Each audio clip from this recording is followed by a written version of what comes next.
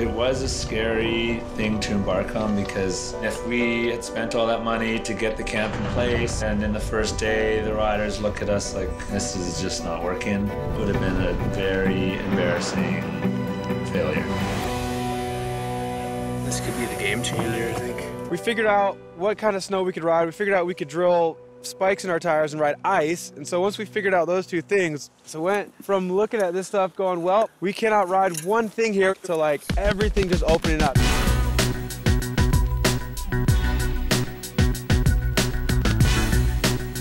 After a few days of building and, and being up there, it felt very weird to be on a glacier with the intention of, of shooting bikes.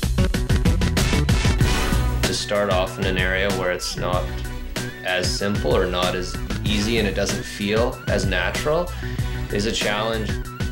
It was insane to watch him ride down that. Get a little bobble midway, and everyone just kind of like held their breath. He kept going and just like tore it up. It was sick to see.